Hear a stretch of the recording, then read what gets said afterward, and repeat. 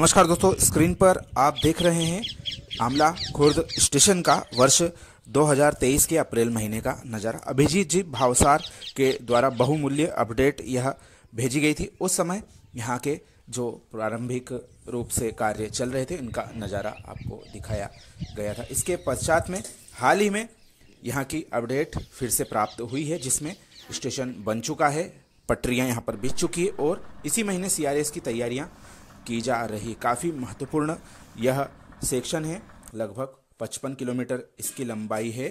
खंडवा से लगा के आमला खुर्द तक, जिसमें कि गुड़ी, मोरदर टाकल और जीरवन स्टेशन है। यहाँ पर सभी जगहों पर एक एक प्लेटफार्म बनाए जा रहे हैं। ये आप देख रहे हैं आमला खुर्द स्टेशन की वर्तमान तस्वीर। अभिजीत भावसार जी के ही द्वारा हमें यह अपडेट फिर से प्राप्त हुई है, जिसमें कि वर्तमान कार्यों का नज़ारा आप स्क्रीन पर देख रहे हैं, यहाँ पर यात्री सुविधाओं के लिए कार्य चल रहे हैं, प्लेटफार्मों के निर्माण कार्य यहाँ पर चल रहे हैं।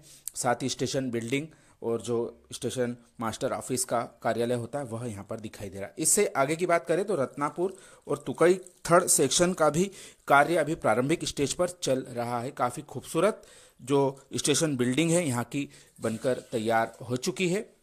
जिसमें कि प्रारंभिक कार्य संबंधित जो स्टाफ है निर्माण एजेंसी का, उसके द्वारा किए जा रहे हैं और उम्मीद जताई जा रही है। इसी महीने इसका सीआरएस डीजल इंजन की सहायता से किया जा सकता है। पचपन किलोमीटर इस सेक्शन की लंबाई है। काफ़ी विवादों में भी यह सेक्शन रहा। खैर, हम उसकी चर्चा यहाँ पर नहीं करने वाले हैं। यहाँ पर केवल हम आपको पॉजिटिव वाइब्स ही दिखाने वाले हैं। आप देख रहे हैं, अमला खुर्द का प्लेटफार्म ये सामने की तरफ़ है। हमारा तो कई थर्ड जाने वाला रत्नापुर का एंड और इस तरफ़ पड़ता है गुड़ी और खंडवा का एंड और यह जो विशाल का पेड़ है, इसकी थोड़ी छटाई यहाँ पर कर दी गई है। पूरी तरह से इसको नहीं काटा गया है।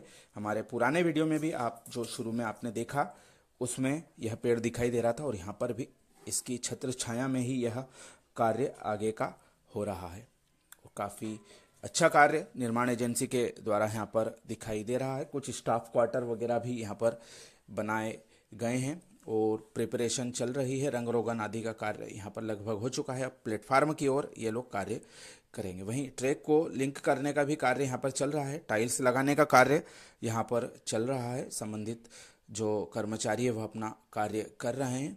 यहाँ पर शुरुआती तौर पर एक हमको ट्रॉली दिखाई दे रही है, जो कि कभी कभी कोई अधिकारी के द्वारा इंस्पेक्शन के लिए उपयोग की जाती।